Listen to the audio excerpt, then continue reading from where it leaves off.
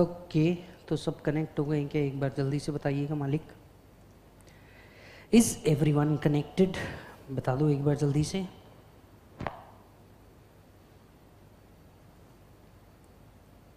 Is everyone connected जल्दी से बता दो। ये सुनो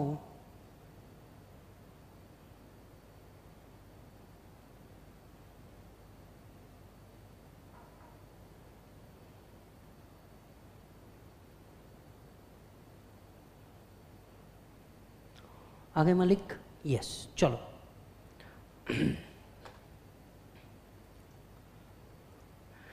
गुड आफ्टरनून मालिक, कैसे हैं आप लोग? उम्मीद करता हूँ आप लोग बहुत अच्छे होंगे। उम्मीद करता हूँ आप लोग बहुत बहुत बहुत अच्छे होंगे।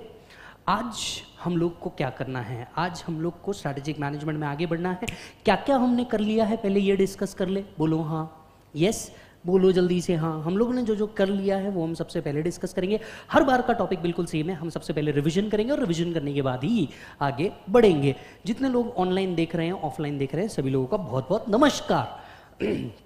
Strategic management chapter number one old syllabus और न्यू सिलेबस के अंदर में पूरा का पूरा कॉमन है। यस yes, कुछ दो तीन चीज़ें जो चैप्टर नंबर थ्री में थी उसको उठा के लेके आ गए वो हम वैसे भी बेसिक्स में कवर करते ही हैं और वैसे भी कवर होगी ही। Right right? सबसे पहले हम लोगों ने क्या पढ़ा था? चलो, जल्दी से याद कर लेते हैं। सबसे पहले हम लोगों ने पढ़ा था बिज़नेस पॉलिसी रिकॉल करके देखो, क्या स्ट्रैटेजिक मैनेजमेंट का नाम हमेशा से स्ट्रैटेजिक मैनेजमेंट था? And the answer is no हम उसको क्या कहते थे? सबसे पहले उसको 1908 में केस स्टडी जैसे पढ़ा जाता था। इसके बाद क्या हुआ? इसके बाद 1911 के अंदर में हार्डवर्ड बिज़नेस स्कूल ने इसे एक इंटीग्रेटेड कोर्स के नाम से लॉन्च किया। फिर 1969 में अमेरिकन स्कूल ऑफ़ बिज़नेस ने इसे एक मैंडेटरी कोर्स बनाया। Business policy later on strategy के नाम से बदला। Strategy later on strategic management के नाम से बदली। क्या आपको याद है? Yes yes, right right. इसके बाद हम लोगों ने पढ़ा मैनेजमेंट मैनेजमेंट को दो सेंस से बोला जाता है। जल्दी से बताओ। जितने लोग यूट्यूब में कनेक्टेड है जल्दी से बताइए। जल्दी से बताइए, जितने लोग YouTube में कनेक्टेड है, कि व्हाट इज़ मैनेजमेंट मैनेजमेंट को हम दो सेंस से देखते हैं। पहला it is a key group of people who handle the affairs of organisation it is a key group of people who handle the affairs of the organisation it is a set of to carry out the interrelated function of management to carry out the interrelated function of management yes मालिक इसके बाद में हम लोगों ने बताया strategy strategy से related कई सारे पॉइंट्स हैं हमारे पास. जल्दी से बताइए कौन कौन से? पहला पहला पहला पहला. Strategy is a long range blueprint of organisational image where it is and where it want to be yes it is a unified design to carry out the aspirations of management क्या strategy flawless हो सकती है? नहीं. क्या strategy perfect हो सकती है? नहीं. क्या स्ट्रैटेजी ऑप्टिमल हो सकती है? Answer is no strategy can never be perfect can never be optimal and can never be flawless याद आ रहा है मालिक? फिर हम लोगों ने पढ़ा था स्ट्रैटेजी प्रोएक्टिव रहनी चाहिए रिएक्टिव इसके ऊपर हम लोगों ने चार क्वेश्चन भी देखे थे इंक्लूडिंग दो case study question yes strategy proactive रहनी चाहिए या स्ट्रैटेजी रिएक्टिव रहनी चाहिए? सर मैं आपको बता दूँ strategy should be a blend हाँ हाँ strategy should be a blend proactive भी रहनी चाहिए और रिएक्टिव भी रहनी चाहिए. ऐसा एक ब्लेंड होना चाहिए.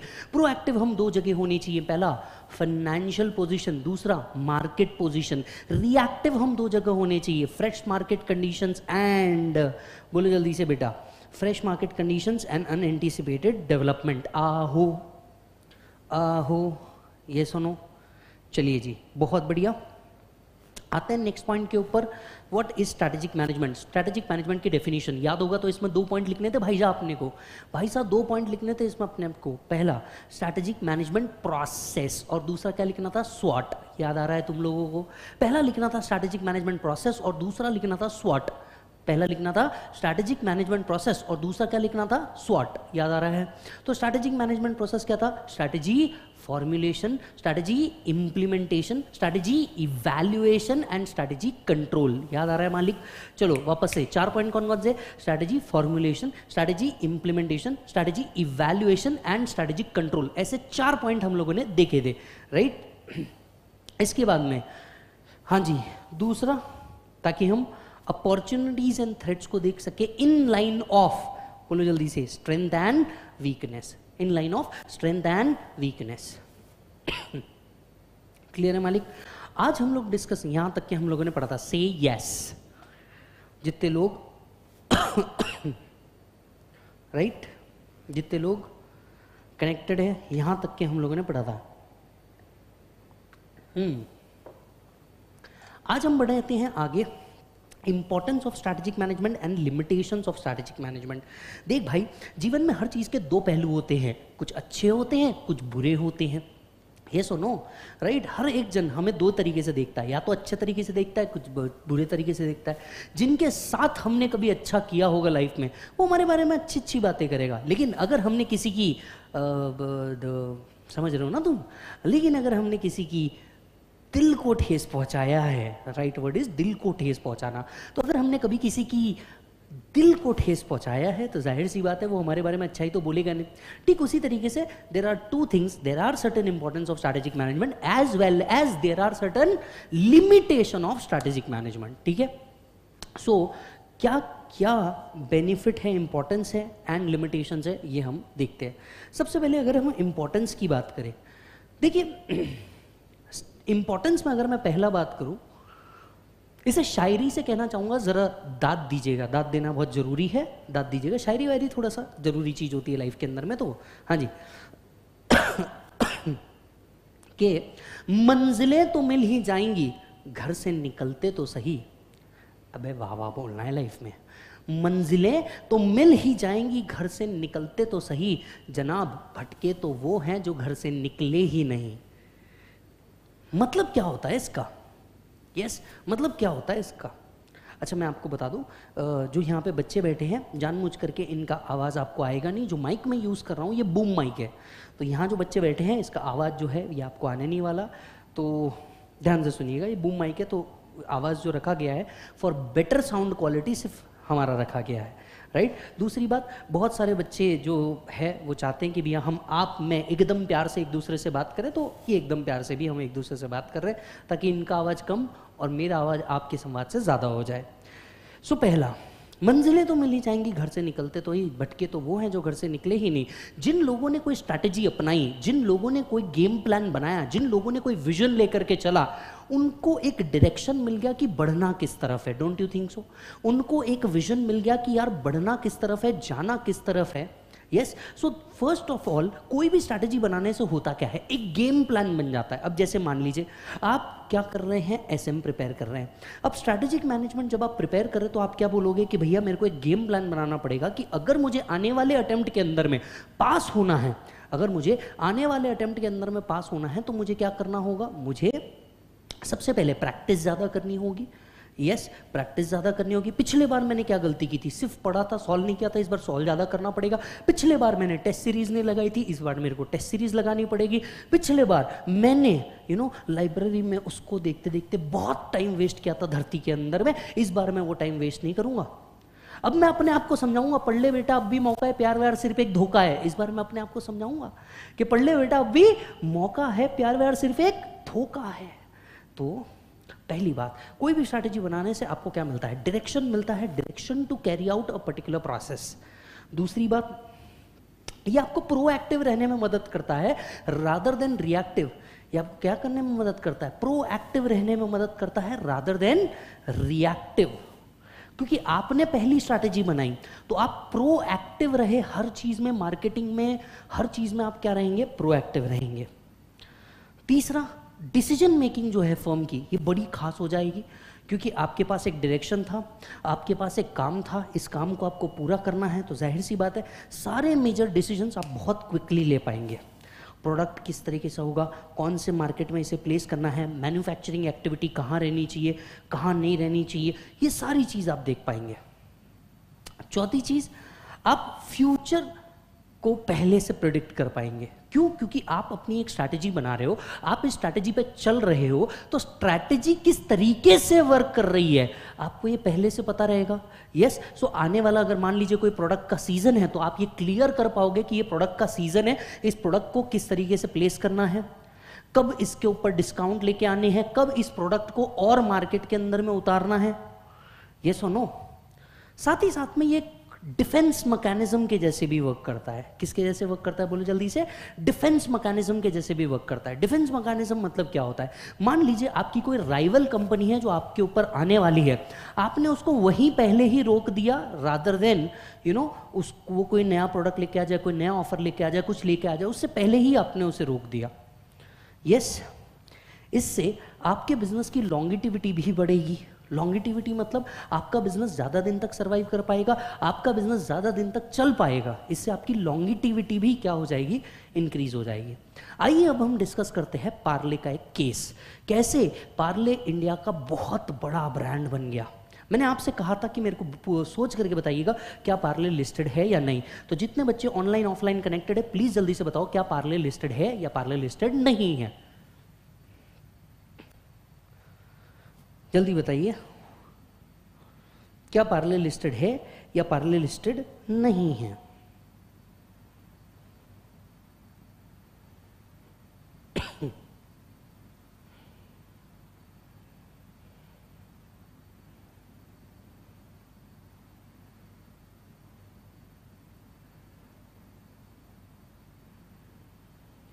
एनीवन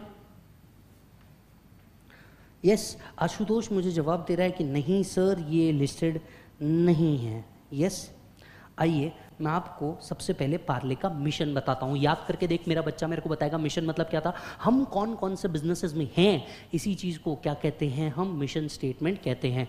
आपके सामने एकदम प्रैक्टिकली पार्ले की वेबसाइट को अपन ने ओपन कर दिया। पार्ले की वेबसाइट को अगर आप देखोगे तो पार्ले इतने सारे प्रोडक्ट्स बनाता है और ये सारे प्रोडक्ट कहीं ना कहीं हिट है।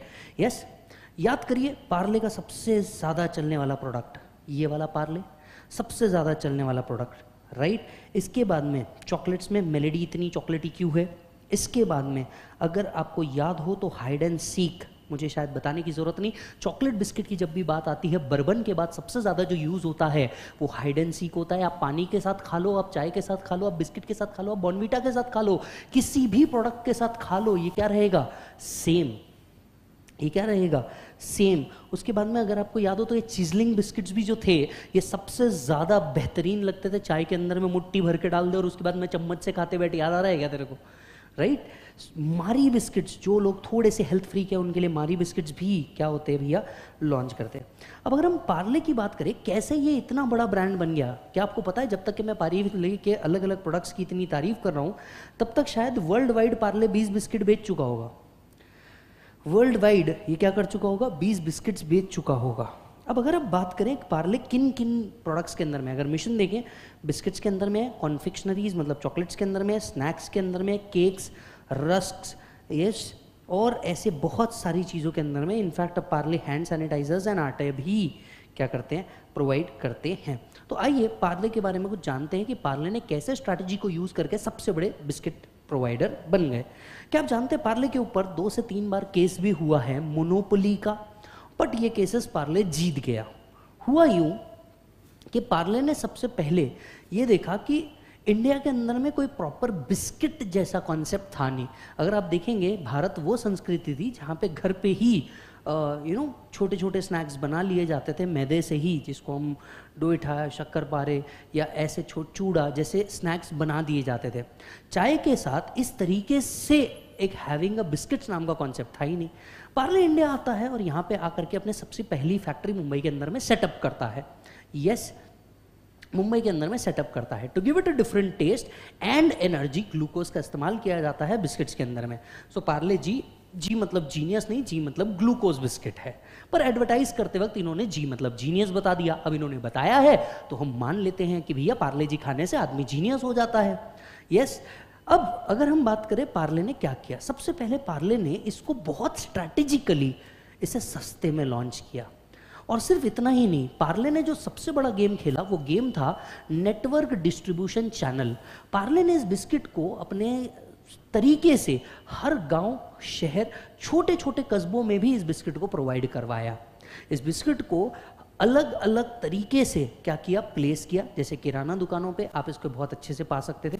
छोटे छोटे ठेलों पे भी आपको ये मिलना चालू हो जाएगा। तो इन्होंने डिस्ट्रीब्यूशन चैनल्स जो थे, ये बहुत तगड़े बनाए कि हर जगह और कुछ मिले ना मिले पार्ले आपको ज़रूर मिलेगा। दूसरी स्ट्रैटेजी जो पार्ले ने खेदी देखी कि धीरे धीरे जब इनका बिस्किट सेलिंग्स चालू हुआ, ये कहाँ से चालू हुआ? जब इन्होंने एडवर्टीजमेंट कैंपेन्स रन करे। पार्ले जी ने बहुत सारे एडवर्टीजमेंट समय समय पे कैंपेनिंग्स में रन करे राइट जिसके अंदर में उन्होंने कोई हाई फाई सेलिब्रिटी नहीं नॉर्मल पीपल को उतारा, एक आम घर को दिखाया, एक मिडिल क्लास परिवार को दिखा करके पार्ले का इंपॉर्टेंस समझाया और इसे हर जगह पे प्रोवाइड करवाया। पार्ले ने तीसरी बेहतर स्ट्रैटेजी रखी थी क्रेडिट मैकेनिज्म पार्ले हमेशा से जानता था कि हर बिजनेसमैन इतना बड़ा नहीं कि आपको अपफ्रंट एडवांस पैसे दे और बदले में क्या ले प्रोडक्ट ले ले। तो पार्ले ने क्रेडिट फैसिलिटी नाम का कंसेप्ट चालू किया कि आप क्या करें, आप थोड़ा प्रोडक्ट लें और उसके अगेंस्ट में एक महीने का क्रेडिट कंसेप्ट चालू करें। ये क्रेडिट कंसेप्ट ने पार्ले को इतना अच्छे से हेल्प किया कि दुकानदार पहले प्रोडक्ट दे देता था और उसके बाद में पैसे कलेक्ट करके फिर वो किसको देता था? पार्ले को देता था। इससे पार्ले को सेल्स एनहांस करने में बहुत ज़्यादा मदद मिल गई।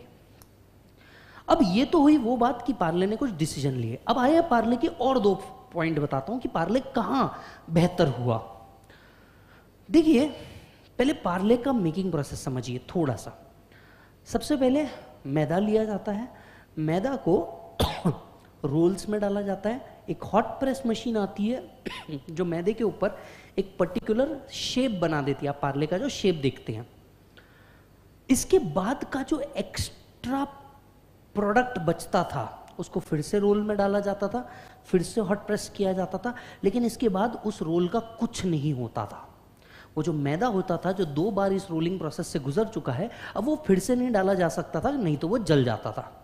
अब पार्ले ने देखा कि यार मेरे पास बहुत सारा बाई प्रोडक्ट बच रहा है। कॉस्टिंग में आपने बाई प्रोडक्ट समझा होगा। अब मेरे पास जो बहुत सारा बाई प्रोडक्ट बच रहा है इस बाई प्रोडक्ट के साथ मैं करूँ क्या? उन्होंने अपने रिसर्चर्स को बोला उन्होंने बोला यार ये बहुत सारा बाई प्रोडक्ट बच रहा है। मुझे कोई ऐसा तरीका बताइए जिससे मैं इन प्रोडक्ट को यूज़ भी कर सकूँ वेस्टेज भी कम हो जाए और मेरे सेल्स को हेल्प करे। गैस वॉट कौन सा प्रोडक्ट बाहर आया? एनी गेसेस जल्दी से बताइए। हम्म, तुम लोग? तू? एब्सोल्युटली करेक्ट यहाँ से बाहर आया पार्ले की किस्मी चॉकलेट। कौन सी? हाँ वो प्यारी सी जिसमें दो लोग नहीं नहीं नहीं वही प्यारी सी लाल कलर की किस्मी चॉकलेट। अगर आप देखेंगे, इनका जो प्रोडक्ट बच गया, इसमें इलायची फ्लेवर एंड शुगर मिक्स करके इन्होंने क्या की? टॉफीज बना दी। और ये टॉफीज का जो कॉस्ट था, वो बहुत सस्ता था, क्योंकि इनका जो रॉ मटेरियल था, ये टेक्निकली मेन प्रोडक्ट का वेस्ट था। बराबर है। तो इन्होंने क्या किया? इन्होंने पार्ले की टॉफीज बना दी। इन्होंने क्या किया? पार्ले की टॉफीज बना दी और ये टॉफीज ये टॉफीज को एज अ कॉम्प्लीमेंट्री गुड्स बोल करके दिया। यहाँ सबसे ज़्यादा पार्ले का सेल्स बड़ा ध्यान से सुनिएगा। तो जो पार्ले के बड़े बॉक्सेस लेते थे, दुकान वाले होलसेलर्स जो बड़े बॉक्स लेते थे, उनको ये पार्ले की चॉकलेट फ्री में उठा करके दे दी जाती थी और बोला जाता था, इस प्रोडक्ट को भी बेचो। आपको याद होगा तो 25 पैसे की एक चॉकलेट आती थी। कितनी? 25 पैसे की एक चॉकलेट आती थी, उसको उठा करके दे दिया जाता था। अब दुकानदार क्या करता था? जरा देखिए, पार्ले से सेल जो आ रहा, वो अलग। कॉम्प्लीमेंट्री गुड्स से जो सेल आ रहा, वो भी प्रॉफिट बन रहा। दुकानदार क्या करते? चिल्लर पैसे, द देन चिल्लर पैसे देने की जगह पार्ले की चॉकलेट पकड़ा देते। इससे लोगों को टेस्ट डेवलप हुआ कि पार्ले को प्रोडक्ट को टेस्ट डेवलप हुआ। लोग क्या करते सिंस एक रुपए में चार, द देन एक रुपए में चार पार्ले बिस्किट चार पार्ले की चॉकलेट्स आती थी, लोग उठाते थे और खाना शुरू कर देते थे। एक साथ बहुत सारी चॉकलेट आती थी स्पेशली जो प्राइस सेंसिटिव बायर्स है, वो क्या करते थे? इन प्रोडक्ट्स को लेते थे। इससे पार्ले का सेल बढ़ा। गैस वॉट चॉकलेट अच्छी होने के कारण इसकी डिमांड अलग से आने लग गई। पार्ले ने खुद नहीं सोचा था कि ये प्रोडक्ट इस तरीके से वर्क कर जाएगा। साथ ही साथ इस प्रोडक्ट के अंदर में प्रोडक्ट इनोवेशन आगे के चैप्टर में चल के हम प्रोडक्ट इनोवेशन नाम का कॉन्सेप्ट पढ़ेंगे। प्रोडक्ट इनोवेशन लेकर के आया? यही बाहर का पॉइंट सेम रखा, अंदर चॉकलेट फिल कर दी।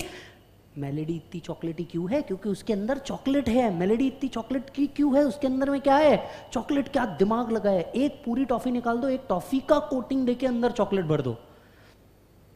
मौका काम आया। कॉन्फिक्शनरीज में घुस गए। कॉन्फिक्शनरीज में घुस गए, धीरे से कॉन्फिक्शनरी के अंदर में एंटर किया कॉन्फिक्शनरी में एंटर करके अलग अलग अलग अलग चॉकलेट्स बनानी शुरू कर दी। चॉकलेट से सेल आना अलग लग गया बिस्किट से सेल आना अलग लग गया। कहीं ना कहीं एक डिफेंस मैकेनिज्म खड़ा कर दिया। कोई दूसरा बिस्किट ब्रिटानिया मार्केट में आता।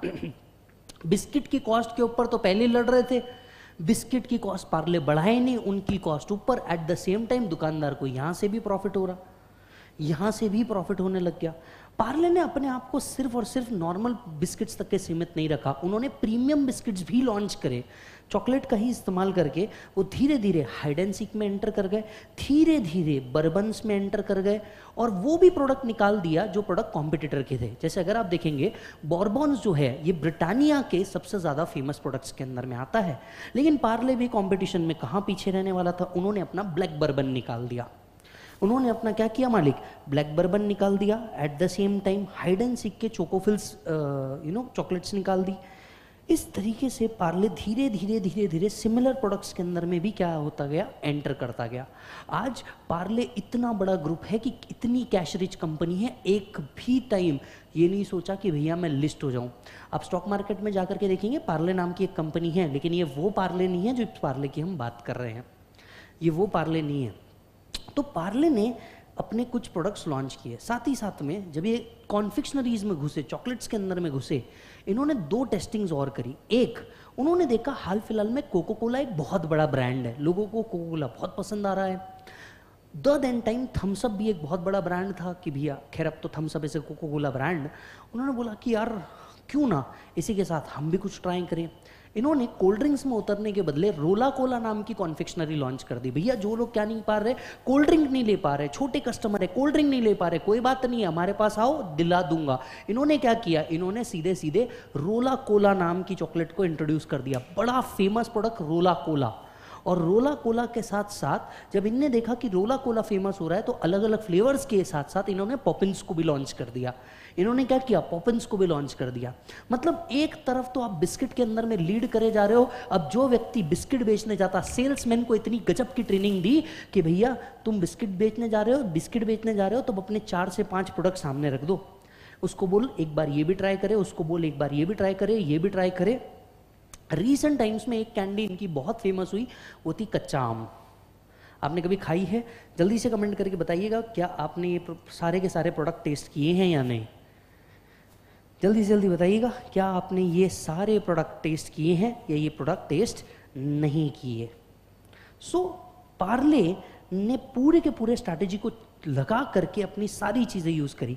इस पार्ले के ही केस स्टडी पे आइए समझते हैं what are the importance of strategic management फिर लिखेंगे भी। Strategic management gives directions to company to move ahead आगे बढ़ने के लिए क्या प्रोवाइड करती है भाई साहब?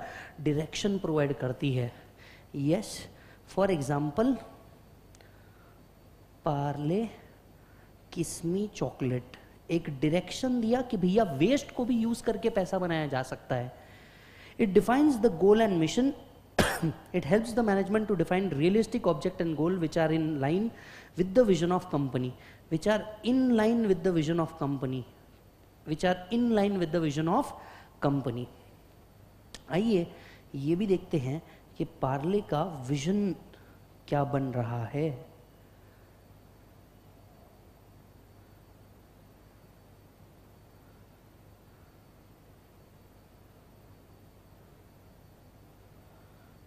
लोड नहीं हो रहा, चलो आगे देखेंगे।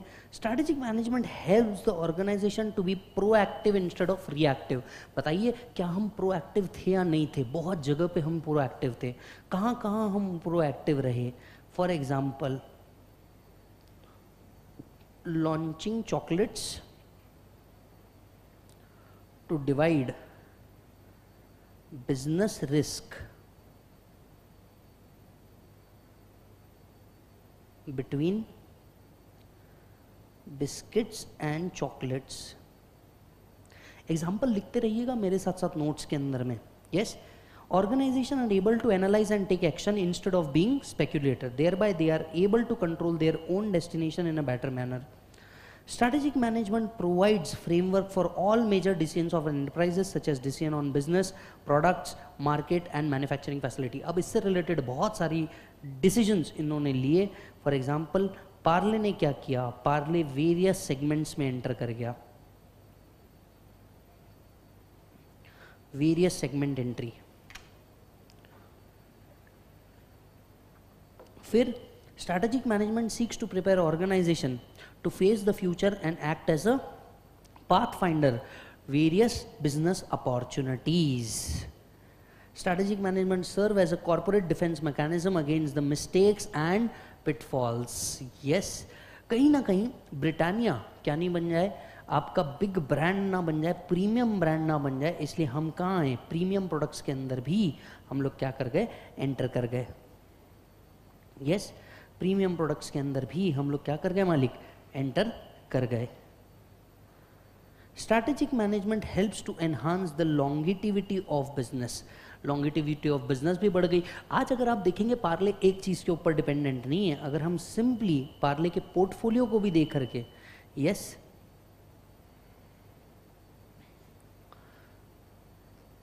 पार्ले प्रोडक्ट्स अगर हम पार्ले प्रोडक्ट्स को भी देखें अगर आप देखें टोटल रेवेन्यू विकीपीडिया के हिसाब से एज ऑफ़ नाउ 16,202 करोड़ चल रहा है for F I twenty two yes owner is mister Vijay Chauhan Sharad Chauhan and Raj Chauhan number of employees 50,500 yes and बहुत सारे प्रोजेक्ट प्रोडक्ट्स के साथ ये लोग डील करते हैं। चलिए इधर से ऑफिशियल वेबसाइट की ओर चल लेते हैं। अगर आप देखेंगे, आज पार्ले मल्टीपल प्रोडक्ट्स के अंदर में डील कर रहा है, एक के अंदर रेवेन्यू डिपेंड नहीं कर रहा it also acting for the longevity of the business आज मारी एक सेट प्रोडक्ट है यू नो पार्ले एक सेट प्रोडक्ट है, पार्ले गोल्ड करके भी एक प्रोडक्ट आता है। क्या आपको पता है? पार्ले गोल्ड करके भी एक प्रोडक्ट आता है। It also helps to develop certain core competencies and competitive advantage कुछ कोर कंपिटेंसीज मतलब जो इनके पास है, वो किसी के पास नहीं है। भैया, कितना भी पतंजलि ने दूध शक्ति लेके आ गया, कितना भी टाइगर बिस्किट आ गया, पार्ले जी की बराबरी आज तक वर्ल्ड में कभी नहीं कर पाया। पार्ले मतलब पार्ले है। पानी के साथ डुबा के खा लो भाई साहब, इतना ज़बरदस्त बिस्किट है। पानी के साथ डुबा के खा लो, ऐसा शायद ही कोई व्यक्ति रहा होगा जिसने आज तक के पार्ले को कभी टेस्ट नहीं किया हो। यस आइए। लिखते हैं सर? लिखते हैं। इंपॉर्टेंस ऑफ़ स्ट्रैटेजिक मैनेजमेंट ठीक है? साथ ही साथ में मेरी ज़िम्मेदारी है, मैंने आपको बताया है कि भैया क्वेश्चनर हम साथ साथ में देखेंगे राइट आपके लिए क्वेश्चन बैंक बुक के पीछे ही आपका क्वेश्चन बैंक है। चलिए देखते हैं कितने बार इस चीज़ को पूछा है।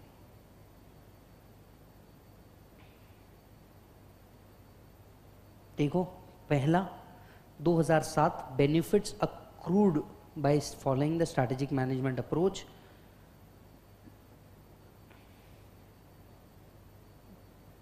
दूसरा इंपॉर्टेंस ऑफ़ स्ट्रैटेजिक मैनेजमेंट 2013 2011 में भी पूछा गया है।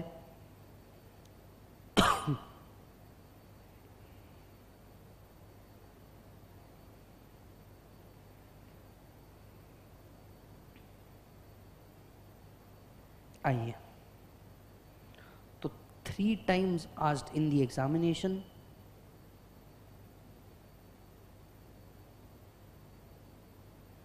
point number one it enhances the longevity of business it helps to be proactive rather than reactive. It act as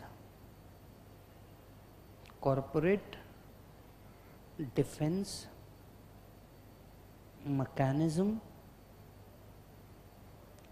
It act as corporate defense mechanism. It helps in developing certain core competency. It helps in developing certain core competencies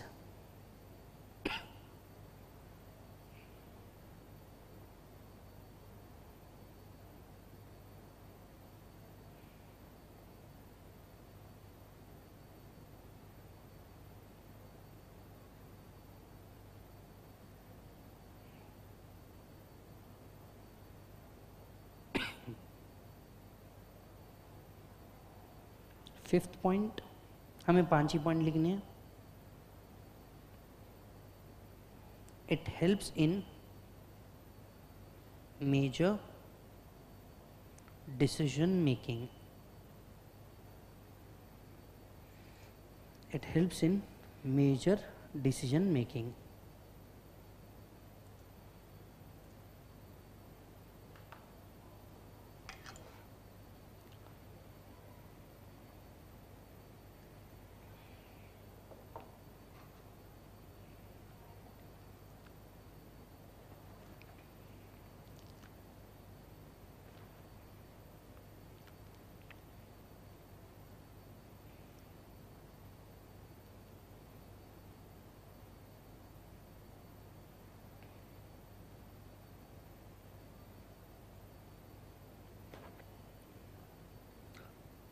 dynamic so that was an importance of strategic management. ध्यान से चलिए revise कीजिए मेरे साथ एक बार। Point number one सारे पाँच पॉइंट लिखे। सर बट यहाँ तो इतना बड़ा लिखा है, याद रखिए आंसर राइटिंग पॉइंट पाँच है। आई एम श्योर आप इसके आगे एडिशनल वर्ड्स ऐड कर सकते हैं। Point number one everyone point number one it enhance the longevity of business yes आपको क्या रहने को मजबूर कर देगी? प्रोएक्टिव रहने को मजबूर कर देगी रादर देन रिएक्टिव एक्ट करते हैं एज कॉर्पोरेट डिफेंस मैकेनिज्म आपको हेल्प करते हैं कुछ सर्टन कोर कंपिटेंसीज ऐसे प्रोडक्ट ऐसी सर्विसेज़ आपको डेवलप करने के लिए बोलते हैं जो किसी और के पास नहीं है। That something called as core competence that something called as core competence help in major decision making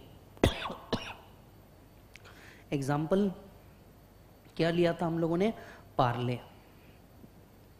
example क्या लिया था? पार्ले. अब मैं आपको नोट्स के साथ साथ एग्ज़ाम्पल भी लिखा रहा हूँ। तो अब आप क्या कर सकते हो? यही आंसर अगर आपको सात से आठ मार्क के लिए पूछा जाता है तो एक एक पॉइंट पे आप क्या कर सकते हो? इस एग्ज़ाम्पल को एक्सटेंड कर सकते हो। फॉर एग्ज़ाम्पल इसके आगे आप लिख सकते हो for example Parle Agro Parle Agro has introduced a chain of products has introduced a chain of products which has enhanced the longevity of business. तो इससे आप कुछ और वर्डिंग्स क्या कर सकते हो ऐड कर सकते हो ये अपने एंड पे। याद रखिए स्ट्रैटेजिक मैनेजमेंट इतना ब्यूटीफुल सब्जेक्ट है, जहाँ पे आप अपनी मर्ज़ी से, अपनी सु इच्छा से, किसकी इच्छा से, अपनी सु इच्छा से क्या कर सकते हो, कुछ भी वर्ड ऐड कर सकते हो। तो टेंशन नहीं लेने का, कुछ भी वर्ड्स आप ऐड कर सकते हो, हालाँकि within the boundaries of certain business words ऐसा नहीं, आप कुछ भी लिख के आ जाओ, वहाँ पे जाकर के, नहीं तो ये नालायक वहाँ पे जाकर के लिख के आएगा राइट मी तुला आता पण प्यार करतो तो। ऐसा कुछ नहीं करना है। वहाँ पे आपको बहुत स्पेसिफिकली ये वर्ड्स को लिखना है एग्जाम्पल्स को यूज़ करना है। नेक्स्ट कंटेंट आता है बेटा limitation of strategic management limitation of strategic management strategic management के कुछ अपने लिमिटेशन है, जिसमें से पहला लिमिटेशन है environment is highly complex and turbulent environment is highly complex and turbulent क्या मीनिंग है भाई साहब इसका? अब आप सोच के देखिए, आज के तारीख में क्या ये इतना आसान है? स्ट्रैटेजी बना दो, काम खत्म। आप तो ऐसी बात कर रहे हो कि भैया सिर्फ़ आप ही आँखें खोल बैठे हो, बाकी सब तो आँखें बंद करके बैठे हैं। भाई तू सुन, तू स्ट्रैटेजी बनाएगा, तेरा जो कॉम्पिटिटर है वो शांति से बैठेगा क्या? Obviously not if Parle make certain product और रिड्यूसेस और increase the price of the product you think Britannia will sit like this हाँ ओके पार्ले तू तो बड़ी कंपनी है, चल जा, तू आगे बढ़ जा. ऑब्वियसली नॉट ऑब्वियसली नॉट वो क्या करेगा? वो भी इसके अगेंस्ट में काउंटर स्ट्रैटेजी बनाएगा? As against this don't you think लोगों के टेस्ट एंड प्रेफरेंस चेंज होते हैं? मैं आपको बताता हूँ पार्ले आज बहुत बड़ा रोल प्ले कर रहा है, या पार्ले एक बहुत बड़ी समस्या से डील कर रहा है। बताओ कौन सी? मैं आपको समझाता हूँ। चलिए, थोड़े सा अलग एग्ज़ाम्पल देता हूँ पार्ले या उसके आप बड़े हो गए, ठीक है? अब आप बड़े हो गए, आज भी क्या तुम पार्ले ही खा रहे हो? बताइए। तारक मेहता का उल्टा चश्मा बचपन में देखा करते थे। वैसे तुम बबीता जी को भी देखा करते थे। पॉइंट इज़ तुम बचपन से तारक मेहता का उल्टा चश्मा देखते थे, जेठालाल को देखते थे। क्या होता था? क्या होता था? तुम्हें बहुत मज़ा आता था। तुम बहुत खुश होते थे वो प्रोडक्ट को देख करके। यस बार बार लूप में लेक्चर लगाते थे। लूप के अंदर में तुम देखे जाते थे। आज भी जब भी तुम्हारा मूड होता है, खाने के टाइम पे तुम तारक मेहता का उल्टा चश्मा लगा करके बैठ जाते। खाने के टाइम पे तुम तारक मेहता का उल्टा चश्मा लगा के बैठ जाते, पर आप सोच करके देखो, क्या आज आप में ये पेशेंस है कि हर हफ़्ते, हर दिन, रोज सब टीवी के सामने बैठ करके तारक मेहता का जेठालाल वाला सीरीज़ देखो? आंसर इज़ नो क्योंकि आपके टेस्ट एंड प्रेफरेंस जो है, ये बदल रहे हैं। अब आपको बबीता जी उस शो में देखना पसंद नहीं? नहीं, मेरा मतलब ये है, मेरा मतलब ये कहीं और भी देखना पसंद नहीं बट आपको उस शो में देखना पसंद नहीं आएगा, क्योंकि अब आप उसके रेगुलर आप बोलोगे, यार सेम टाइप की स्टोरी रिपीट हो रही है सेम टाइप के कैरेक्टर रिपीट हो रहे हैं। यस एक ही show you know Babita ji है जो आज तक नहीं बदली, बाकी सब बदल गए। जेठालाल ने जो आज तक नहीं बदला, बदल गए। इतने साल हो गए, फिर भी काम नहीं कर पाया। ऐसा नो मतलब टेस्ट एंड प्रेफरेंस भी चेंज हो रहा है। मतलब पहला competitor strategy playing a role taste and preference is changing the role तीसरा इनकम बढ़ने से आपके जो प्रोडक्ट की चॉइसेस है, ये भी बदल गई है। आप सोच के देखिए, जैसे जैसे इनकम बढ़ी आप दूसरे प्रोडक्ट्स की ओर शिफ्ट होने लग गए। कई लोग तो ऑर्गेनिक की तरफ़ शिफ्ट होने लग गए। वो बोले, नहीं नहीं यार, मैदा नहीं खाना चाहिए। इतना ग्लूकोज भी अच्छा नहीं है। ये तो पेशेंट्स वाला बिस्किट है। ऐसी बहुत सारे नामों से बुलाने लग गए। तो आपके टेस्ट एंड प्रेफरेंस चेंज हो गए। आपके प्रोडक्ट का पार्ट चेंज हो गया। तो आज एक देखा जाए तो एक सेगमेंट ही है जो उस प्रोडक्ट को यूज़ कर रहा है। या तो बच्चे टीनेजर्स या तो सीनियर सिटीजन बीमार आदमी। जो एक यंग व्यक्ति है, रोज सुबह चाय के साथ वो बिस्किट के नाम पे ज़रूरी नहीं पार्ले जी खाए। मान लीजिए अगर वो हेल्थ कॉन्शियस है, मेरे जैसा आप समझ रहे हो, मेरे जैसा हेल्थ कॉन्शियस है तो हो सकता है वो बोलेगा, यार नहीं यार ग्लूकोज बिस्किट खाएँगे थोड़ा सा शुगर वुगर लेवल बढ़ जाता है, इससे अच्छा तो मारी खाया जाए। मारी भी पार्ले ही प्रोडक्ट है बट हो सकता है वो ऑर्गेनिक बिस्किट्स की ओर शिफ्ट हो जाए, हो सकता है वो होम मेड प्रोडक्ट्स की तरफ़ शिफ्ट हो जाए रादर देन दिस प्रोडक्ट तो एनवायरनमेंट जो है, ये बहुत कॉम्प्लेक्स है। बहुत सारे बिस्किट्स भी आ चुके हैं, बहुत सारे एडवर्टीजमेंट्स नए आने अब पार्ले इतना एडवर्टाइज नहीं करता जितना वो पहले किया करता था। तो इससे इम्पैक्ट ये होना चालू हो चुका है कि पार्ले अब उस चीज़ को इम्पैक्ट कर रहा है। हालाँकि सेल्स में तो आपको इतना मेजर इम्पैक्ट नहीं दिखेगा। आज भी पार्ले का सेल्स बहुत ज़्यादा है बट फिर भी ये पहले जितना नहीं है, या पहले जितने कंज्यूमर ये नहीं रखता, जितने हुआ करते थे। बिकॉज़ एनवायरमेंट इज़ कॉम्प्लेक्स दूसरा strategy making is time consuming process अगर हम स्ट्रैटेजी की बात कर रहे हैं it takes a long time बैठना पड़ता है डिसीज़न लेने पड़ते हैं सारी चीज़ों के। बराबर है? It takes a long time long process to get the things done takes a long process to get the things done so strategic management is not a simple process दो घंटे में बनाया हाँ चलो हो गया। ना it's a time taking process तो strategic management is a time consuming process. Organizations spend a lot of time in preparing, communicating the strategy that may impede daily operations. Strategic management is a costly process आपको बहुत सारे factors ध्यान में रखते हैं कोई भी स्ट्रैटेजी बनाते वक्त टाइम तो लगता ही लगता है कॉस्ट भी लगती है फॉर एग्ज़ाम्पल अगर हमें कॉम्पिटिटर की कोई स्ट्रैटेजी ध्यान में देनी है, या हमें कॉम्पिटिटर की कोई स्ट्रैटेजी रखनी है तो एक आदमी बैठा हो उसकी स्ट्रैटेजी को ट्रैक करने के लिए, वो कौन कौन से नए प्रोडक्ट लेके आ रहा है, उस बारे में पता करो, उस प्रोडक्ट के अंदर में क्या खासियत है, ऐसा प्रोडक्ट हम पहले लॉन्च कर देते हैं। ऐसी बहुत सी चीज़ें हैं जो आपको ध्यान में रखनी पड़ती मीडिया वालों के लिए आपको बहुत सारी चीज़ें ध्यान में रखनी पड़ती। So strategic management is not a simple process it's a costly product why because बहुत सारे लोग लगाने पड़ते हैं। मान लीजिए आप सोच रहे हैं कि आप नया प्रोडक्ट लेके आएँगे। Let me give an example मान लीजिए आप सोच रहे हैं एक नया प्रोडक्ट लेके आएँगे। सो लेट्स से अभी रॉयल एनफील्ड पसंद करने वाले रॉयल एनफील्ड बुलेट पसंद करने वाले इमेजिन करके देखिए एक मिनट के लिए जिनको बुलेट की डुक डुक डुक डुक पसंद है। बराबर? अगर रॉयल एनफील्ड ई व्हीकल बन गया तो? ई व्हीकल तो साउंडलेस है। तो रॉयल एनफील्ड को आज एक बहुत बड़ा इंपैक्ट इस चीज़ से भी तो आ रहा है कि लोग ई व्हीकल की तरफ़ शिफ्ट हो रहे हैं। नॉइसलेस व्हीकल की तरफ़ शिफ्ट हो रहे हैं। अब रॉयल एनफील्ड सोचता है कि चल यार, मैं भी क्या करूँगा? Royal Enfield but E vehicle लेके आऊँगा। अब ऐसे केस में उसको सोचिए। स्ट्रैटेजी बना ली कि रॉयल एनफील्ड को भी मैं ई व्हीकल में लेके आऊँगा। स्ट्रैटेजी बनाने से काम नहीं हुआ। पहला आर लगेगा which is a costly process yes इतने बड़े इंजन के साथ सपोर्ट करने वाला बड़ा बैटरी भी लगेगा। फिर उसका डिज़ाइनिंग के ऊपर खर्चा करना पड़ेगा।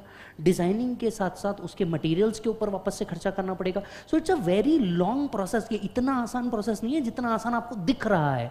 तो ये इतना आसान प्रोसेस नहीं है। It's time consuming it is costly process yes expert strategic planner को एंगेज करना पड़ता है। आपने कभी इनका नाम सुना है? देखिए इलेक्शन से पहले ना, एक व्यक्ति की डिमांड भारत में बहुत ज़्यादा बढ़ जाती है। इलेक्शन से पहले एक व्यक्ति की डिमांड भारत में बहुत बढ़ जाती है। एनीवन इलेक्शन से पहले इनकी डिमांड बहुत बढ़ जाती है। क्या करते हैं? प्लानर है सर। और आज तक का हिस्ट्री और ट्रैक रिकॉर्ड ये रहा है, आज तक का हिस्टोरिक या ट्रैक रिकॉर्ड ये रहा है कि जिस पार्टी की तरफ़ से इनको हायर किया गया है, वो पार्टी कंफर्म इलेक्शन जीतती है। Anyone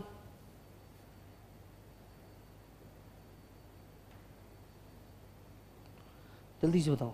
anyone Prashant Bhushan. कभी सॉरी नॉट प्रशांत भूषण, प्रशांत किशोर। इस व्यक्ति के बारे में सर्च कीजिएगा सर इस व्यक्ति के बारे में सर्च कीजिएगा।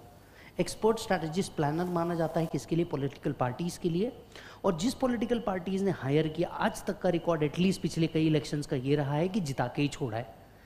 प्लानर है। उसकी कॉस्ट है huge cost because there is a huge team जो उनके भी आप पे क्या कर रही है?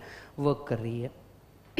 So point number one environment is highly complex दूसरा इट इज़ टाइम कंज्यूमिंग तीसरा इट इज़ कॉस्टली चौथा in a competitive scenario where all organization are trying and to move strategically it is difficult to clearly estimate the competitive response आपने strategy बना ली, बहुत भारी की strategy create भी कर ली, बहुत अच्छी स्ट्रैटेजी क्रिएट भी कर ली, फिर भी प्रोडक्ट बिक जाएगा?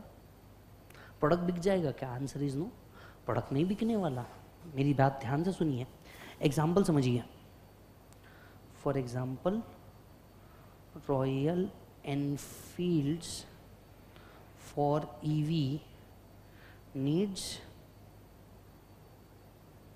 cost of research बराबर? आपने स्ट्रैटेजी बना भी ली।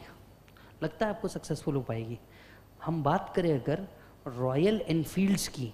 हम बात करें अगर किसकी बेटा? रॉयल एनफील्ड्स की। आज रॉयल एनफील्ड्स क्यों पसंद की जा रही है? पॉइंट नंबर वन ये किसी भी ट्रेन पे चलने वाली गाड़ी है। पॉइंट नंबर टू आवाज़। पॉइंट नंबर थ्री आवाज़ के चक्कर में दिखने वाला भौकाल। आवाज़ के चक्कर में दिखने वाला भौकाल। आवाज़ ही बंद कर दोगे। इंजन जो बड़ा है हैवी है, ये गाड़ी को हल्का कर दोगे। तो आपको लगता है everyone will like it बाकी सब छोड़िए। तू लाइक करेगा भाई। अगर रॉयल एनफील्ड से आवाज़ निकल जाए और रॉयल एनफील्ड का वो जो दबदबा है, बड़ी हैवी इंजन का, अगर वो निकल जाए तो लाइक कर लेगा। लड़कियों मतलब रॉयल एनफील्ड एक गाड़ी होती है। रॉयल एनफील्ड जो होती है, एक गाड़ी होती है, बुलेट एक गाड़ी होती है। ऐसे क्या है ऐसे? नहीं, मैं जानता हूँ लड़कियाँ बहुत अच्छी गाड़ी चलाती है। नहीं मतलब इस बारे में तो कोई डाउट ही नहीं है। बोला लड़को लड़, बहुत अच्छी गाड़ी चलाती है। हम बिल्कुल जानते हैं। कैसे लेफ़्ट इंडिकेटर देके राइट में मुड़ती है अलग लेवल का स्वैग है लड़कियों का तो। अलग लेवल का स्वैग है लड़कियों का। जो लेफ़्ट देके राइट में मुड़ती है आहा! अच्छा सारी लड़कियाँ ऐसी नहीं होती क्या? हम्म। तो भाई साहब आप बताइए सारी लड़कियाँ ऐसी नहीं होती ऐसी मोहतरमा का कहना है। हमको बिल्कुल पता है जी सारी लड़कियाँ ऐसी नहीं होती। ये लड़के पागल है इनको समझता नहीं। वो लेफ़्ट इंडिकेटर दे के राइट में मुड़ रही है, गलती इसकी है। इसको समझना चाहिए कि अगर वो ये इंडिकेटर दे रही है तो उधर मुड़ना चाहती है। भाई साहब रिस्पेक्ट एक लड़की का कमेंट सुनिए सर। हम लेफ़्ट इंडिकेटर देखे राइट में इसलिए मुड़ रहे हैं ताकि हम उसे बता सके कि आप लेफ़्ट से निकल जाओ।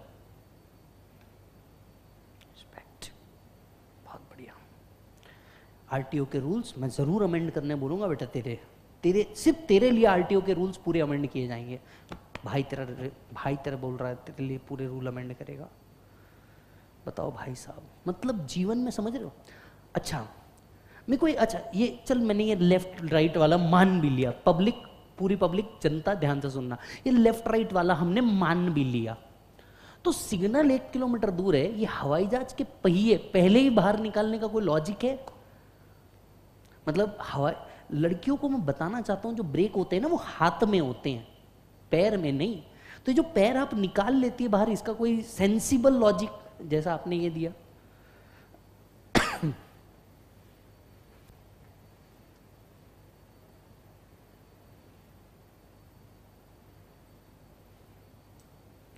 बच्चे बोल रहे हैं, सर हाँ।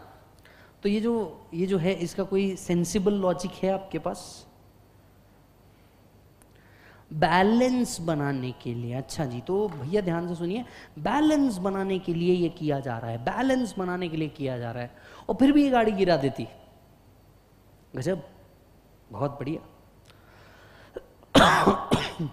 Royal Enfield if converted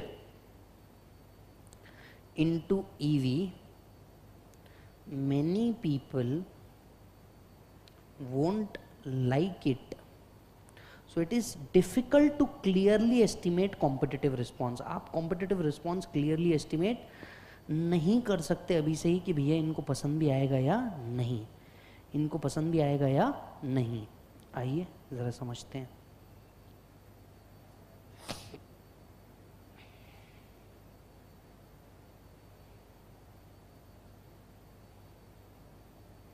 limitation of strategic management इसी को मैं डिसएडवांटेज के नाम से भी जानता हूँ।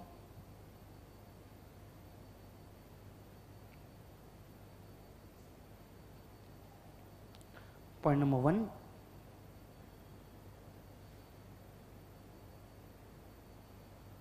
environment is highly complex and dynamic environment is highly complex and dynamic strategic management is a time consuming process strategic management is a costly process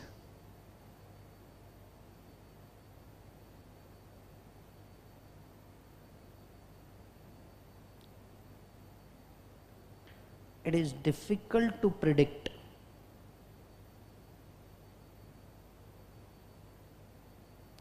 Will turn to be successful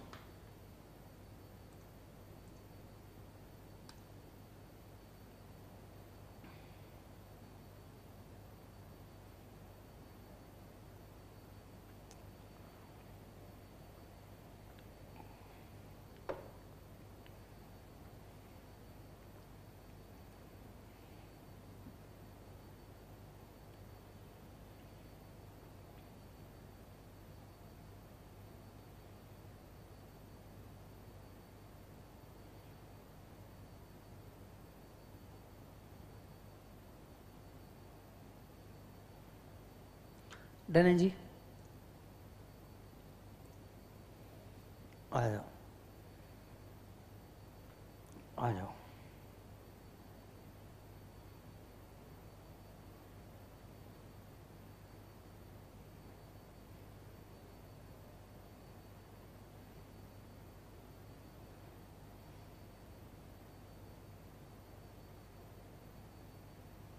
yes चलो so ये था you know importance of strategic management और उसी के साथ साथ limitation of strategic management आइए, अब हम बात करते हैं स्ट्रैटेजिक लेवल्स इन ऑर्गेनाइजेशन कितने अलग अलग तरीके के लेवल्स होते हैं, पर लेवल्स के पहले लेवल्स के पहले हम सीधा यहाँ चलते हैं strategic management in government and non profit organizations हम पहले यहाँ चलते हैं और बाद में उसको कंप्लीट करेंगे। इधर आ जाओ पहले। क्या स्ट्रैटेजिक मैनेजमेंट सिर्फ़ प्रॉफिट मेकिंग ऑर्गेनाइजेशन में यूज़ होता है? क्या आपका कहना है? आंसर इज़ नो ये आप भी जानते हैं। In fact non profit making organization या गवर्नमेंट ऑर्गेनाइजेशन को भी स्ट्रैटेजिक मैनेजमेंट की उतनी ही नीड है जितनी आपको है। That is profit making organization को है। सर गवर्नमेंट ऑर्गेनाइजेशंस को इसलिए क्योंकि इंडिया एक मिक्स्ड इकोनॉमी है। गवर्नमेंट ऑर्गेनाइजेशन को इसलिए क्योंकि इंडिया एक मिक्स्ड इकोनॉमी है, यहाँ पे गवर्नमेंट भी एक प्लेयर है मार्केट के अंदर में। Let me give you an example BSNL और बीएसएनएल के साथ साथ रिलायंस जियो प्लेयर तो हो आप मार्केट के अंदर में। यस और नो फिर normal buses and government buses that is public buses and private buses then electricity suppliers भी हमारे पास प्राइवेट है. For example Tata Adani Ambani and you know M S E B तो गवर्नमेंट भी one of the player हो जाता है आज बिज़नेस के अंदर में. And that is the reason government also require certain kind of strategic management दूसरी बात आती है you know NPO profit making या non profit making organisation yes non profit making organisation अगर हम बात करें सेलमॉन भाई, बराबर है? अगर हम बात करें किसकी सलमान भाई उनका एक ग्रुप है जिनको आप बहुत अच्छे से जानते हैं बींग ह्यूमन राइट अब आपको क्या लगता है बींग ह्यूमन कपड़े बेच रहा होगा परफ्यूम्स बेच रहा होगा राइट तो क्या ये प्रॉफिट नहीं कमा रहा? नॉन प्रॉफिट ऑर्गेनाइजेशन का मतलब ये है क्या कि वो प्रॉफिट नहीं कमाते? या उसका मीनिंग ये है कि वो प्रॉफिट तो कमाते हैं वो प्रॉफिट डिस्ट्रीब्यूट नहीं करते? क्या लगता है आपको? क्या वो प्रॉफिट कमाते हैं? यस yes, पर वो प्रॉफिट डिस्ट्रीब्यूट नहीं करते that is the main point yes और नो तो क्या एजुकेशनल इंस्टीट्यूट्स जो मोस्ट ऑफ़ द टाइम पे क्या करते हैं नॉन प्रॉफिट मेकिंग ऑर्गेनाइजेशंस होते हैं राइट right? क्या ये स्ट्रैटेजी मैनेजमेंट कुछ फॉलो करते होंगे? आंसर इज़ यस तो आइए सबसे पहले डिस्कस करते हैं, हाल फ़िलहाल में चल रहे एक बहुत बड़े ब्रांड के डिस्प्यूट्स के बारे में। एक बहुत बड़ा ब्रांड और कैसे ये स्ट्रैटेजिकली सक्सेसफुल भी होते हैं और स्ट्रैटेजिकली फेल भी होते हैं। आइए आज हम डिस्कस करने जा रहे हैं आज की अनादर केस स्टडीज़ बाईजूस आइए डिस्कस करते हैं अनादर केस स्टडी बाईजूस अगर आप देखेंगे Byju's strategic management in educational institute हम डिस्कस करने जा रहे हैं strategic management in educational institute वैसे तो educational institute most of the जो होते हैं, ध्यान से सुनिए मोस्ट ऑफ़ द जो एजुकेशनल इंस्टीट्यूट्स होते हैं ये सारे के सारे किसी ना किसी चैरिटेबल ट्रस्ट के फॉर्म में होते हैं, आप देखिएगा। आपकी जो यूनिवर्सिटी होगी, ये चैरिटेबल ट्रस्ट होगी। आपकी जो कॉलेजेस होंगे, ये चैरिटेबल ट्रस्ट होंगे। कभी दिल में सवाल नहीं आया कि भैया ऐसा क्यों होता होगा? पूछो ना, क्यों? पूछो जल्दी से, क्यों? वो इसलिए क्योंकि सेक्शन हाँ हाँ section 11 and 12 of income tax act इनको क्या दे रखा है? Exemption they no need to pay tax इसीलिए हम इन्हें नॉन प्रॉफिट ऑर्गेनाइजेशंस में डिस्कस कर रहे हैं। समझ में आ रही बात? ये उसका लॉजिकल रीजन है कि जो आपके ट्रस्ट होते हैं, जो आपके कॉलेजेस होते हैं इंस्टीट्यूशंस होते हैं, ये सब क्या होते हैं बेटा? ये नॉन प्रॉफिट ऑर्गेनाइजेशंस होते हैं और ये नॉन प्रॉफिट ऑर्गेनाइजेशंस होने के कारण, ये नॉन प्रॉफिट ऑर्गेनाइजेशंस होने के कारण इनको इनकम टैक्स में एग्जामिशन मिलता है। इसलिए हम इसको एनपीए बोल करके डिस्कस कर रहे हैं। डन खैर, इधर आइए। एजुकेशनल इंस्टीट्यूट्स की बात करता हूँ। आज हम बात करते हैं बाईजूस के एक पूरे लाइफ सर्कल की। बाइजूस की डिस्कस करते हैं लाइफ सर्कल की। बाइजूस ये नाम आया कहाँ से? बाईजूस ये नाम आया कहाँ से? आज एट टेक इंडस्ट्री में ये यूनिकॉर्न रहा है। मतलब एट टेक्स इंडस्ट्री में ये बहुत बड़ा यूनिकॉर्न रहा है। आज भी है, लेकिन रिसेंट टाइम्स में बहुत ज़्यादा न्यूज़ में अगर आपको पता हो तो। चलिए डिस्कस करते हैं। बाईजूज ये बेस्ड है बाईजू रविंद्रन, इनके नाम के ऊपर। बाईजू रविंद्रन अच्छा खासा जॉब कर रहे थे। अच्छा खासा जॉब कर रहे थे राइट उसके बाद इन्होंने देखा, वैसे मैं आपको बता दूँ बाईजूज रविंद्र, या बाईजू रविंद्रन, वो व्यक्तियों में से है जिन्होंने सबसे ज़्यादा टॉप किया है इन कॉम्पिटिटिव एग्जामिनेशंस के अंदर में इन द सब्जेक्ट मैथ्स अब ये अच्छा खासा जॉब कर रहे थे। जॉब के बाद अपने जो रूममेट्स है रूममेट्स को क्या किया? इन्होंने पढ़ाना चालू किया मैथ्स मैथ्स से सबकी फटती है, मेरी भी फटती है। ये सुनो तो इन्होंने चालू किया पढ़ाना मैथ्स रूम के अंदर में जो कुछ दोस्त थे और उनका थोड़ा बहुत पॉकेट मनी कि भैया, चल ठीक है, कुछ अमाउंट दे देना। जब इनने मैथ्स पढ़ाना चालू किया, अपने दोस्तों को, दोस्त धीरे धीरे करके अपने और दोस्तों को जोड़ते गए। बहुत ही कम टाइम के अंदर में, बहुत ही कम टाइम के अंदर में बहुत सारे बच्चों का एक क्लास बन गया जो रेडी था इनसे मैथ्स पढ़ने के लिए। रेडी था इनसे मैथ्स पढ़ने के लिए एट अ प्राइस तो इन्होंने देखा कि भैया मैं जॉब के साथ साथ क्या करता हूँ? पढ़ाना शुरू कर देता हूँ। जॉब के साथ साथ क्या कर देता हूँ? पढ़ाना शुरू कर देता हूँ। तो जॉब के साथ साथ पढ़ाना शुरू कर दिया। एक बैच के बाद इन बैच से इतना अच्छा रिस्पॉन्स आया जैसे आप लोगों ने मेरे लिए रिस्पॉन्स दिया है कि भैया टैक्सेस के बाद सर ने जो पढ़ा दिया, बस हम वो पढ़ रहे हैं। ठीक इसी तरीके का रिस्पॉन्स उनने भी दिया। कि इसके बाद उन्होंने भी क्या किया? उन्होंने भी ये देना शुरू किया। मल्टीपल बैचेस बन गए। बहुत सारे बच्चे आने लग गए which we ready to pay the fees but sir पढ़ाएँगे तो आप ही। आप ही हमारे विज्जू भैया पढ़ाएँगे तो आप ही। बहुत सारे बैचेस बनने लगे। समय ऐसा आया कि नंबर ऑफ़ बैचेस जो थे वो इंक्रीज होने लग गए। तो जॉब से बेटर टीचिंग लगने लगा। जॉब से बेटर क्या लगने लगा? टीचिंग क्या आप जानते हैं, ये वो फ्यू टीचर्स में से एक है, ये वो फ्यू टीचर्स में से एक है, जिन्होंने स्टेडियम में तक के क्लास ले डाली। स्टेडियम में जस्ट इमेजिन स्टेडियम के अंदर भी क्लास ले डाली। तब जाके भाई रविंद्रन को सोचता है कि यार, क्यों ना एक वीडियो प्लेटफॉर्म बनाए because not everyone can come to him अब ये तो बहुतों के पास पहुँच सकते हैं, ये तो बहुतों के पास पहुँच सकते हैं, तब जाके वीडियो लेक्चर्स का सहारा लिया गया। इन्होंने वीडियो लेक्चर्स का सहारा लिया और वीडियो लेक्चर्स के तहत अपने पहले वीडियोस बनाने शुरू किए। साथ ही साथ में एक ऐप भी बना दिया, ऐप का नाम रखा बाईजूस और इसके ऊपर अपने पूरे वीडियो अपलोड किए, फ्री नोट्स अपलोड किए। जो भी बच्चा इनसे पढ़ना चाहे, बस इस ऐप को डाउनलोड करे और ऐप को डाउनलोड करके वो वीडियो देख सकता था, नोट्स वहीं इसके वहीं क्या कर सकता था, डाउनलोड कर सकता था। इन्होंने इस कंसेप्ट से मासेस को रीच किया। इस कंसेप्ट से इन्होंने क्या किया? मासेस को रीच किया। और ये मासेस को रीच करके बहुत बड़े लेवल पे लेके गए। मासेस को रीच करके बहुत बड़े लेवल पे लेके गए। कुछ दोस्त साथ साथ में जोड़े जिनने मैथ्स फिजिक्स बायो ऐसे सब्जेक्ट्स लिए और सारे फ्री वीडियोस काय पे डालने चालू कर दिए? ऐप पे डालने चालू कर दिए। आपको एक्सेस लेने के लिए बड़ा सिंपल सा रूल था, आओ वीडियो देखो और वीडियो देखने के बाद आप क्या करो? इन प्रोडक्ट्स को बाय कर लो। क्या आप जानते हैं ऐप ने पहले ही साल में एक लाख से ज़्यादा के डाउनलोड कर दिए? एक लाख से ज़्यादा के डाउनलोड थे इस ऐप के ऊपर भाई साहब।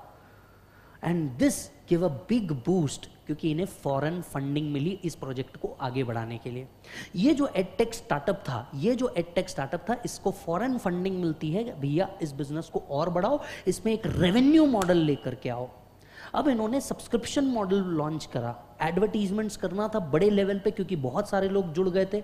और पहली ऐसी एड टेक कंपनी थी जिसके एक लाख प्लस डाउनलोड्स थे।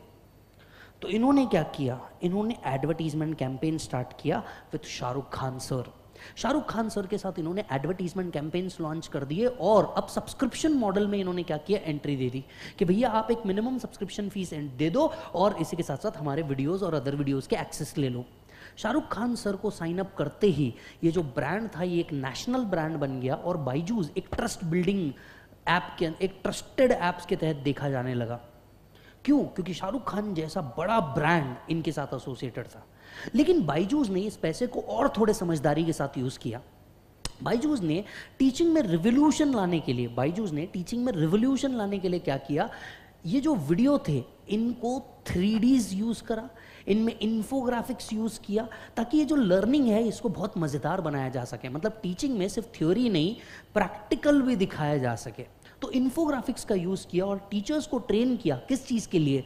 कि भैया, आप इस तरीके से इन्फोग्राफिक्स को क्या करो, यूज़ करो।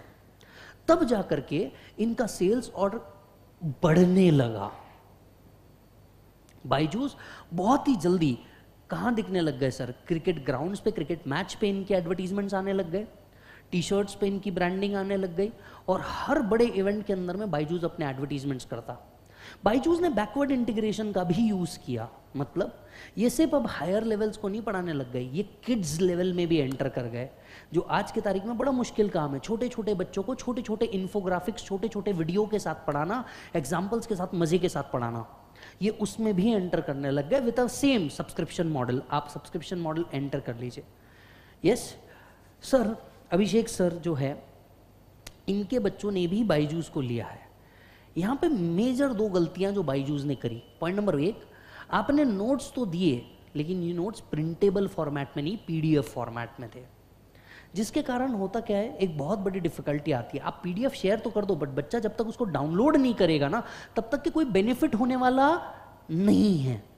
आप डाउनलोड करके रख लो, आप प्रिंट निकालोगे, आप कुछ ना कुछ पढ़ोगे। डाउनलोड करके आपको दुनिया भर के टीचर के वैसे टेलीग्राम के ऊपर अवेलेबल मिल रहे हैं। वैसे टेलीग्राम के ऊपर बहुत सारा दुनिया भर का कंटेंट अवेलेबल है। लेकिन आप में से इतने लोग जिन्होंने डाउनलोड किया, इन्होंने कभी इसको यूज़ भी किया है? पहला आंसर इज़ नो और जब आपने इसको यूज़ ही नहीं किया, जब आपने इसको क्या नहीं किया? यूज़ ही नहीं किया तो वो वेस्ट हो गया। रिसेंटली अगर देखा जाए तो बाईजूस बहुत ऊपर गया। बट अब कुछ प्रॉब्लम्स आनी शुरू हुई। प्रॉब्लम्स क्या हुई?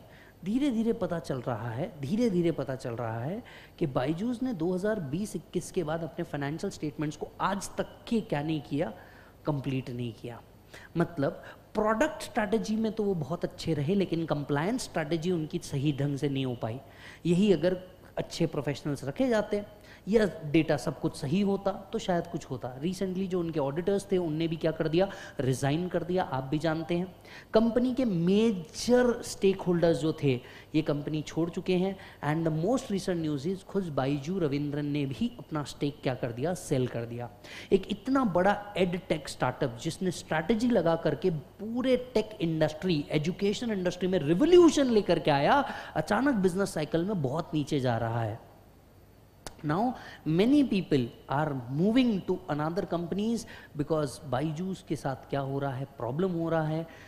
बाईजूस की अगर रिपोर्ट्स अगर आप देखेंगे तो उसमें आपको पता चलता है कि rather than earning they are spending much earning आज एडवर्टीजमेंट एडवर्टीजमेंट एडवर्टीजमेंट में इतना पैसा खर्चा कर दिया कि अर्निंग्स के ऊपर फोकस ही नहीं किया और इससे आज कंपनी के अंदर में क्या आना शुरू हो चुका है? प्रॉब्लम आनी शुरू हो चुकी है।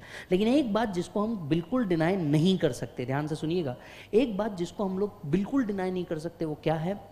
कि उन्होंने स्ट्रैटेजी लगा करके एक बहुत बड़ा डेटा बेस बनाया, बहुत बड़ा स्टूडेंट बेस बनाया और बहुत बड़ी कंपनी को खड़ा कर दिया एज अगेंस्ट द अदर्स तो आइए समझते हैं कि कोई भी एजुकेशन इंडस्ट्री या कोई भी एजुकेशनल इंस्टीट्यूट कौन सी बड़ी स्ट्रैटेजीज को यूज़ करता है?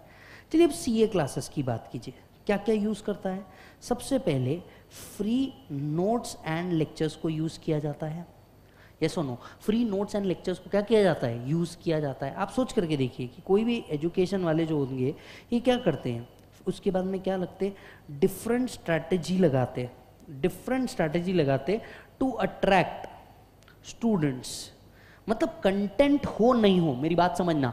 कंटेंट हो नहीं हो, पर एडवर्टीजमेंट्स की जाती है, बहुत तगड़ी एडवर्टीजमेंट्स की जाती है। बराबर? अंदर कंटेंट तुम पढ़ा रहे हो, नहीं पढ़ा रहे हो? बराबर? भयानक एडवर्टीजमेंट्स की जाती है। एडवर्टीजमेंट्स कर रहे हो, आप बहुत बड़े बड़े इवेंट कर रहे हो, बच्चों के लिए ताम झाम कर रहे हो। अगर आप देखेंगे एम बी कॉलेजेस के, अगर मैं बात करूँ सर कितना कितना मतलब आपका ये प्लेसमेंट हो जाएगा, एक हाथ सेलिब्रिटी को बुला लेंगे, बड़े लेवल के अंदर में इवेंट कर डालेंगे। मतलब इतना ग्लैमराइज किया जाता है उस चीज़ को ताकि स्टूडेंट अट्रैक्ट होते हैं उससे। ये सुनो उसके बाद में क्या हो रहा है? उसके बाद में क्या हो रहा है? इसके बाद में आपको रिजल्ट्स दिए जाते हैं। आपको रिजल्ट्स दिखाए जाते हैं। अगर आज के तारीख में बात करें internet and technology has change the way education was internet and technology has change the education it was आप सोच के देखिए ना, समय सच में नहीं बदल रहा। पहले ब्लैक बोर्ड थे वाइट चौक था। फिर वाइट बोर्ड हो गए ब्लैक पेन्स हो गए। बोर्ड ही गायब हो गया। आज हम सब डिजिटली पढ़ रहे हैं। सोचिए, पहले बच्चा पुणे आता था पढ़ने के लिए। आज बच्चा अपने जगह पे बैठा है, दिल्ली में बैठा है, मुंबई में बैठा है, कोलकाता में बैठा है, बेंगलोर में बैठा है, हैदराबाद में बैठा है। आप सोचिए ना, सर, जितने लोग ऑनलाइन लेक्चर ले रहे हैं, आप घर पे बैठ करके लेक्चर ले पा रहे हैं। क्यों हो रहा है? Technology has change the way it works yes पहले हमको भी क्या होता था? पहले हम लोगों को भी पढ़ाना है। मतलब एक ब्लैक बोर्ड ले, उसके ऊपर पढ़ा। आज ऐसा नहीं है। टेक्नोलॉजी हैज़ चेंज्ड आईपैड आ चुके हैं, पढ़ाने के मैकेनिज्म बदल चुके हैं, पढ़ाने के तरीके बदल चुके हैं। पहले एक रेगुलर बैच होता था, काम खत्म नहीं। आज दुनिया भर की चीज़ें हो चुकी है। स्टूडेंट्स अट्रैक्ट करने के लिए regular batch fast track batch marathon batch amendment batch सोच के देखना, इसके बाद में क्विक रिविजन पाँच पाँच बैच तो एक ही टीचर पढ़ा रहे भाई। उसके बाद में वो A B C analysis students attract करने के लिए क्या क्या नहीं होता आज की तारीख में? होता है या नहीं होता? तो एजुकेशन इंडस्ट्री इज़ ऑल्सो कोई भी नया टीचर अपना कुछ तो नया लेकर के आएगा। यस yes, फिर वो कुछ तो बहुत भारी के नोट्स लेकर के आ जाएगा कुछ तो बहुत भारी का प्रोडक्ट लेकर के आ जाएगा राइट right? जैसे सब्जेक्ट रहेगा उस सब्जेक्ट को यू नो सब्जेक्ट का एक्चुअल जो लगने वाला टाइम था वो लगने वाला टाइम था लेट्स से 200 आवर्स इसी को 50 घंटे के अंदर में कंप्लीट करवा देंगे इसी को 40 घंटे के अंदर में कंप्लीट करवा देंगे। Understand these are different strategies but use तो एजुकेशन इंडस्ट्री में भी हुआ ना I am not talking about strategy किसकी अच्छी किसकी नहीं every strategy is good but हर एक स्ट्रैटेजी के पीछे टाइम तो लगता है ना ब्रो कॉस्ट तो लगती है। ये सुनो एन एजुकेशन भी सेगमेंट एक तो बिज़नेस कुछ लोगों के लिए तो ये बिज़नेस है ही ना। सो so, चेक कीजिएगा। समझते हैं। क्या इस पे क्वेश्चन कभी पूछे गए हैं? बिल्कुल पूछे गए हैं, सर मल्टीपल टाइम्स पूछे गए हैं। आइए, बताता हूँ।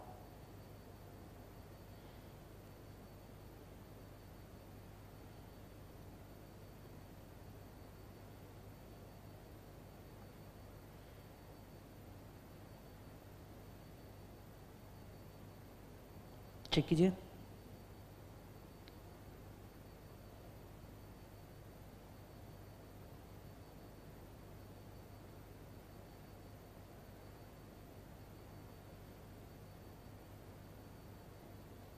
देखो।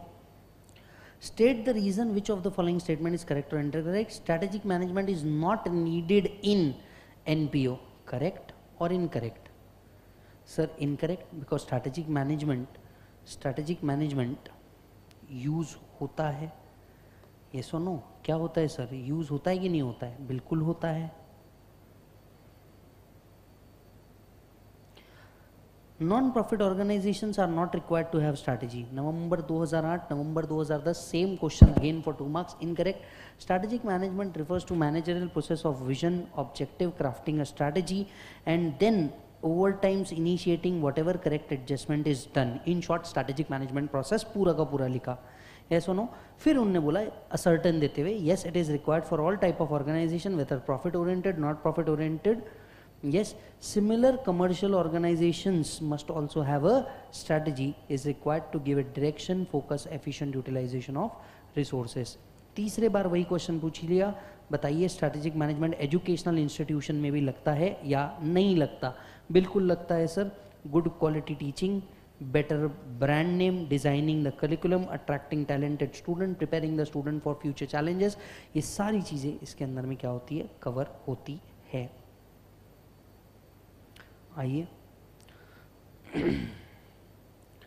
Strategic management in strategic management in educational so sorry strategic management in educational and non profit organisation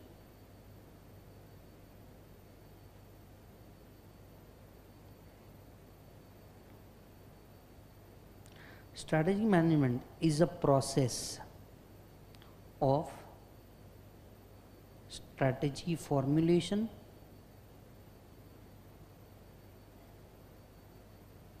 implementation,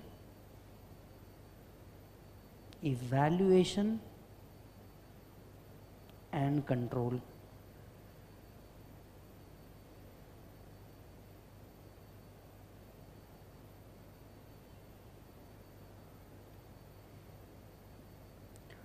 Strategic management provides vision mission and goal to organization which can be profit making or non profit making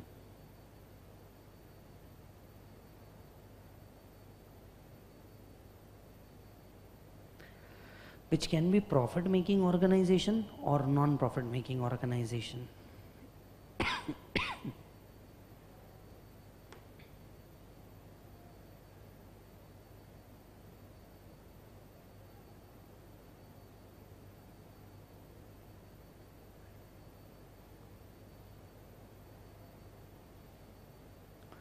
Even education institutes are also using strategic management.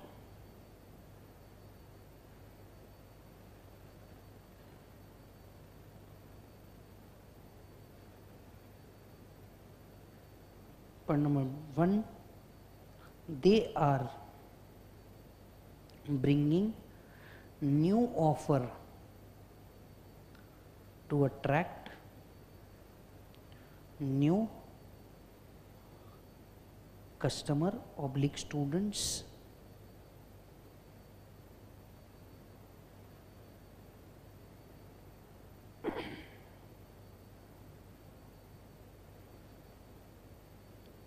They are joining hands with different organization to make students more employable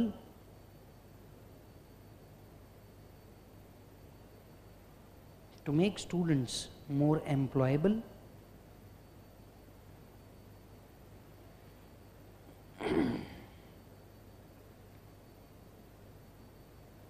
point number C internet and technology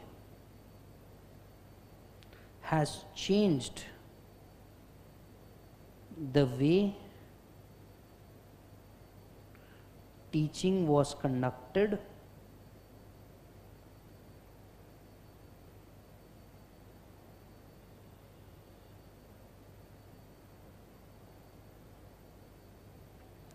online lectures and degrees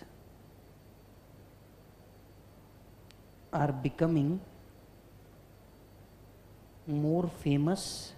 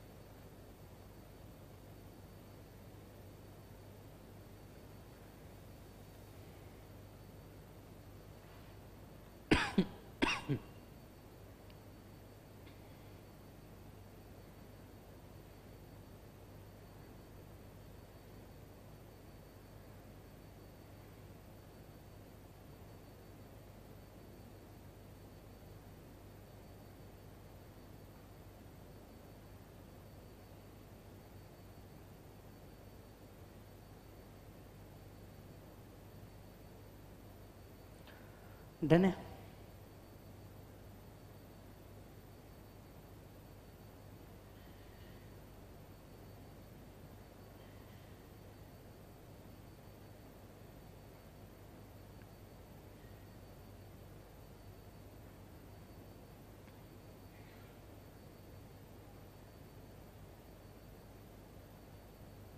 चलो जी।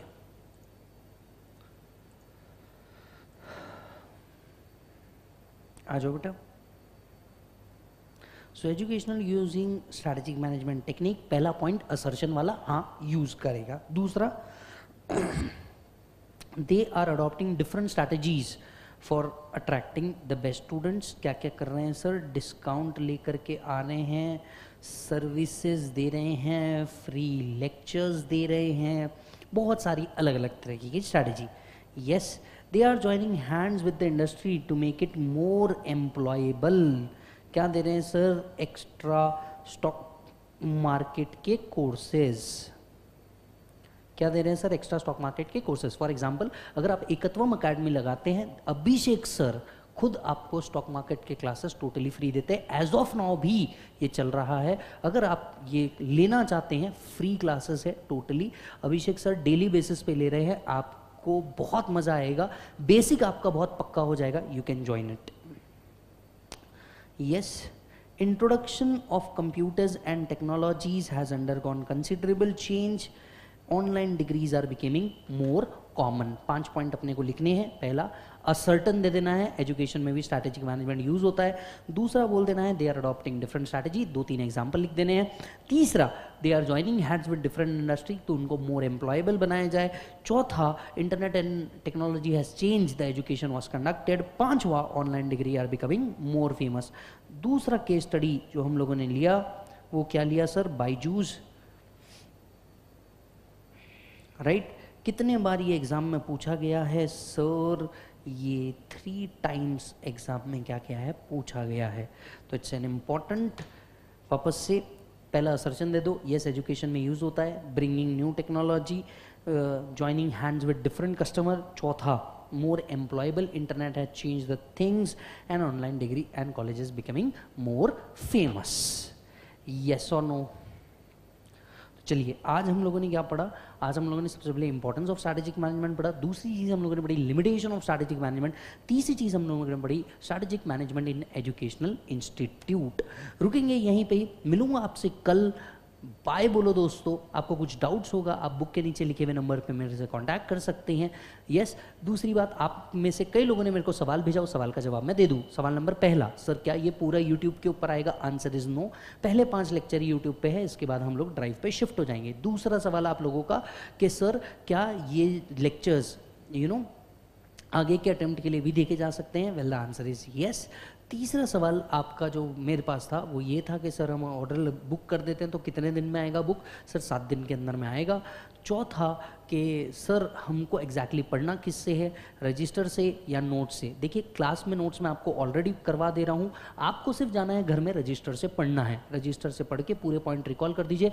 ये वो answer writing points है जो आपको answer में लिखने हैं। Question मैं आपको ऑलरेडी दिखा देता हूँ क्लास के अंदर ही। तो ये वो पॉइंट है जो आपको वहाँ पर लिखने हैं। यस नो तो आपका exam preparation with writing already यहाँ पे हो रहा है। कुछ करने की ज़रूरत नहीं पड़ेगी। डन मालिक thank you so much bye bye and take care